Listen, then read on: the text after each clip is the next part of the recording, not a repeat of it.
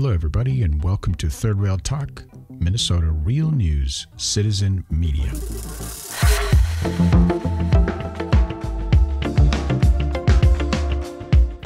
On today's podcast, I'm going to introduce you to someone from Saudi Arabia.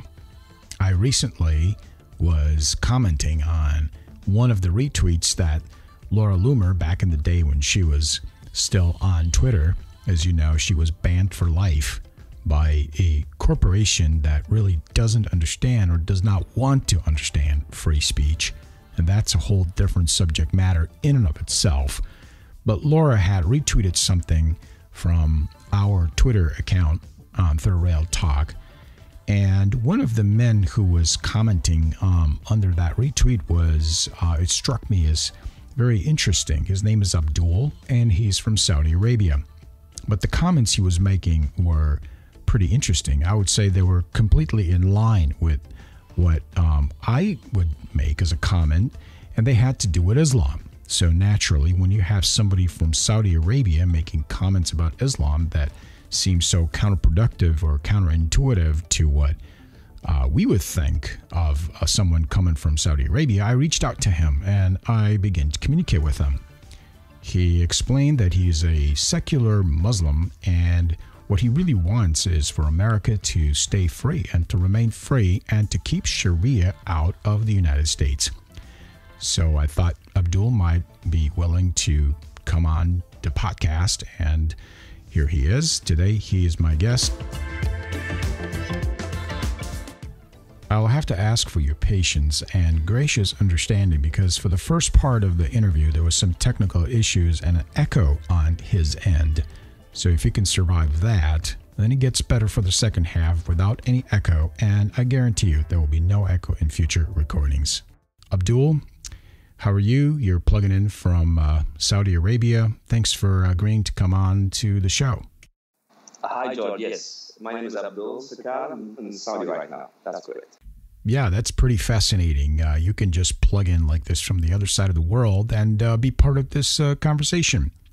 So tell us a little bit um, about yourself. Uh, from what I understand, you have been to the United States. Uh, you studied here, is that right? So, uh, I my first time uh, going to the U.S. was late is I, I went there for a training camp uh, in L.A., San Francisco. I was a student back then.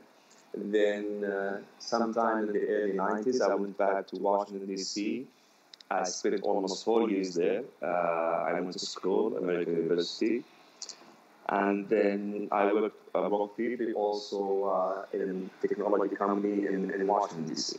I went back to Saudi, but after that, I kept going to the U.S. almost every year for a few weeks, either as business or as uh, uh, as a tourist. So tell us a little bit about your experience. Did you have a good experience? Was it a cultural uh, shock, change, or maybe not at all? Yeah. So basically, on a personal level, I my first few weeks or months in the US was, was not short of, of a cultural shock. The, the kind of uh, of the society compared to what, what we had in, in Saudi is, completely different. Then I started to understand the different different kind of, of uh, political, uh, social streams in the US, from communism to liberal to conservatism. So then I went to school in, in Washington D.C. and I started studying all kinds of religions, like uh, um, Asian religions, uh, Hinduism, Buddhism. Then I went and I studied also uh, Christianity, Judaism, I understood the, the heritage that uh, Judaism have on, on Christianity and the importance of the two religions together. Then this this kind of experience enlightened myself because whatever we, we, we study in the public school in, in Saudi is basically there is one view of life that Islam is the ultimate truth and everything else is, is just uh, corrupted as religion. Well, this is all very interesting. So basically, people grow up in Saudi Arabia believing that Islam is the best and only true religion, and uh, every other religion is corrupted by man. Tell me a little bit about education. How does that impact education? In other words, people growing up in Saudi Arabia and going to school, do they believe, uh, do they teach uh, evolution in the school system anywhere, whether it's uh, primary school or high school or college? Or do people believe uh, basically are being taught as far as the origins of the world, they're being taught uh, on a different Islamic paradigm? Oh my God, it's all all creationism. Nobody even dare to teach uh, evolution in Saudi. Not in the public schools, not in college, universities. All of them, they don't touch this subject. Nobody speaks about Darwin. You, you can't you cannot even find the, the, the slightest mention of, of, of uh, evolution in, in, Saudi. I find this fascinating. Perhaps uh, another podcast could be dedicated entirely to this whole subject of how education functions in Islamic countries like Saudi Arabia. But, you know, I don't know you um, at all. We just met on Twitter or made contact on Twitter. And uh, I don't know entirely your background, but uh, your comments made me feel like you understand um, my perspective and our perspective here in the United States as far as Sharia is concerned, as far as the danger of political Islam. Um, it sounds like you've had a good, uh, you had an opportunity to have a good look at the different uh, religious teachings, uh, Christianity, Judaism, and others, and you've developed a pretty tolerant view, uh, which is probably uncommon, or at least we think it's uncommon for someone coming from a country like Saudi Arabia. If you take the Old Testament or the New Testament or the Quran, you will find many verses that are problematic. And I believe not only Quran, but all religions should be taken the good moral values of religion should be held very high, but certain verses, the problematic ones, were, were, were because of certain historical events that should be kept at that level. We should not bring them to our daily lives.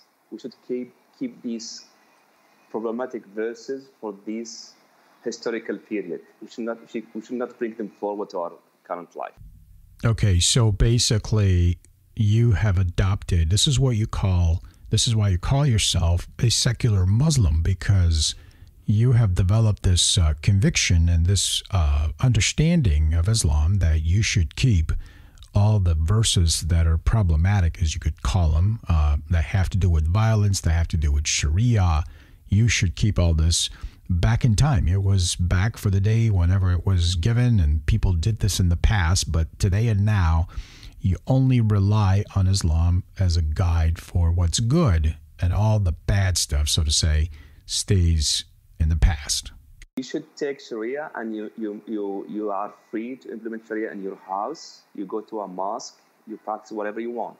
But it has no place in society, it has no place in economic system, it has no place in political system. And every person today who claims that Sharia is the solution or Islam is the solution is basically want to bring Sharia to political system, to economy, to society, which is completely wrong.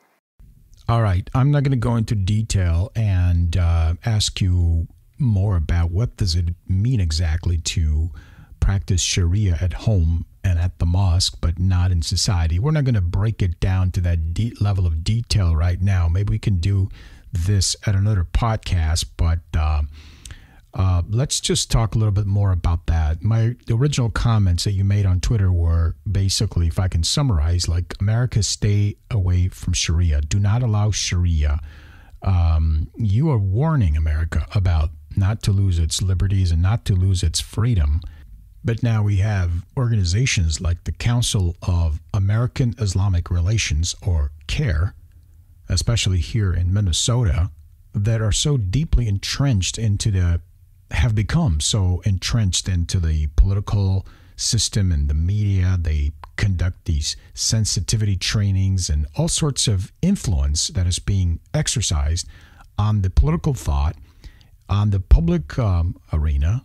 And uh, these organizations, organizations like CAIR, are basically extensions of the Muslim Brotherhood, which is a terrorist organization, including designated such by the government of Saudi Arabia. Yeah. So when I was in the U.S. in mid 90s, I, I witnessed the uh, the formation of CAIR in particular, and I know I've met Nihad Awad personally back then. He, he came to our neighborhood mosque and he was preaching there.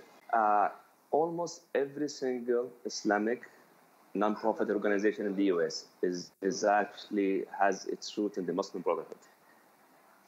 I've met them all. I've met uh, the Islamic Association of Northern America, IANA.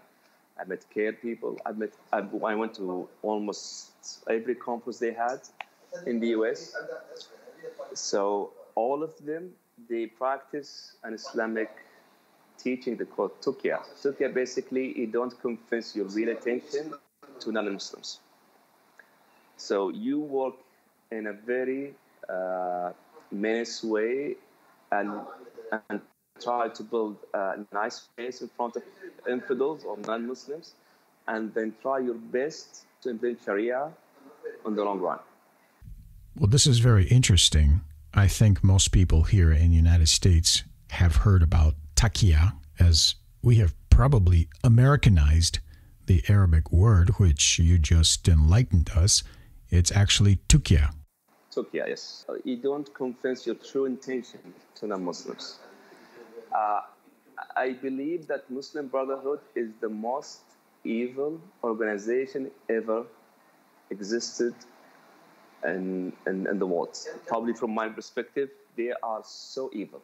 And this is, has brought a lot of wrath, a lot of anger from those guys against Mohammed bin Salman because he's the one behind that move. And uh, he's been targeted heavily by their godfather, which is the, the ruler of, of Turkey, Erdogan. That's, that's if, if you look at, at the history of Muslim Brotherhood, Osama bin Laden and his mentor, uh, Zawahiri, both of them uh, came out of the Muslim Brotherhood school.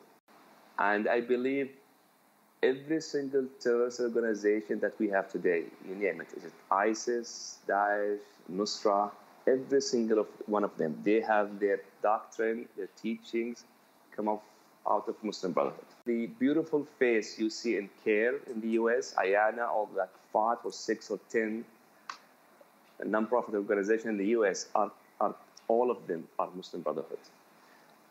And I believe as a Saudi, I'm fed up with such extremism. I've lived in the US, I've lived, I've lived in, the, in the West.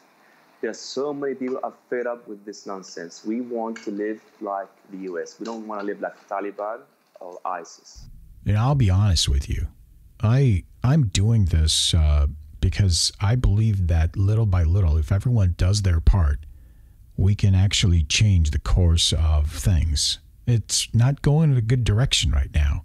We have people like Ilhan Omar, who is going to uh, U.S. Congress trying to change rules that have to do with head coverings. And this lady is now trying to change a rule that has been in place in Congress for 180 years that members of Congress can't cover their heads. Now she wants to change that because she wants to be covered because she's a Muslim. So we have organizations like CAIR and politicians like Ilhan Omar who basically are trying to bring uh, Islamic, uh, Muslim Islamic um, attire, clothing, and style of clothing to our public square and make it accepted as an expression of human right, while at the same time, countries like Saudi Arabia are coming out of that same type of bondage. And um, women now can drive in Saudi Arabia. That has been a big change. But also, women in, in, other countries are burning their burqas and basically are saying, stop, enough of this foolishness. We want to live like a normal people. Even in Saudi, for the last few years, women don't have to wear veil. Uh, my wife don't have to. Once we travel outside Saudi, she doesn't.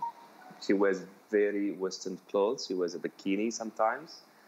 So yes, people like me who don't take uh, religion literally believe that God wants from us very simple things: want to be nice humans. Ten commandments are good enough for every single human, not not more, not less. Well, I find it fascinating because actually, um, here in the United States, people who have awakened to the threat of Islam and Sharia and an implementation of these ideologies, we listen to all kinds of voices, but not the voices of ordinary people.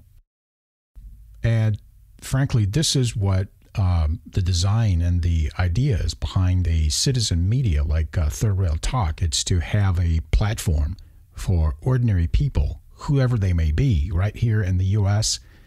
and as well as people like yourself from the other side of the world or a culture or a country that's very different.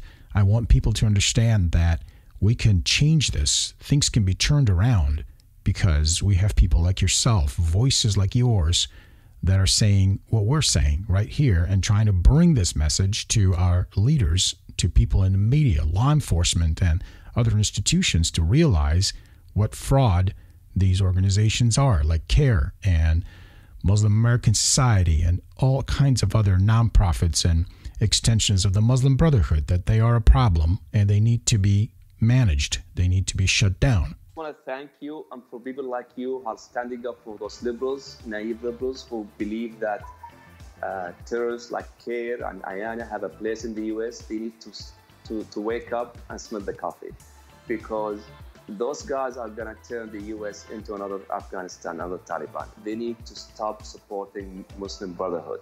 They don't know what they are supporting. Obama has made a big mistake back then when he supported them in, in the Arab Spring. Abdul, I want to thank you for agreeing to come on um, our podcast, Third Rail Talk. And I look forward to reconnecting again with you and basically allowing you to share your thoughts and ideas and perspectives on this citizen media platform. The whole purpose for a platform like this is to allow ordinary people to share their thoughts and their perspectives because we're so sick and tired of the corporate big media corrupted by government, corporate money and interests, and all sorts of pro Sharia politics. It's choking the life out of us, and we're fed up with it. So that's the whole reason why Third Talk exists. And I want to encourage all of you to sign up for our Patreon, also to sign up for our newsletter on our website, thirdrailtalk.com stay uh, to stay connected uh, because our social media accounts may be shut down at any given point. So that's a good way for us to stay in touch. Thank you so much, sir. Look forward to speaking to you again. Thank you, sir. Thank you. Yep. Take care. Bye bye. Have a nice day. Bye bye.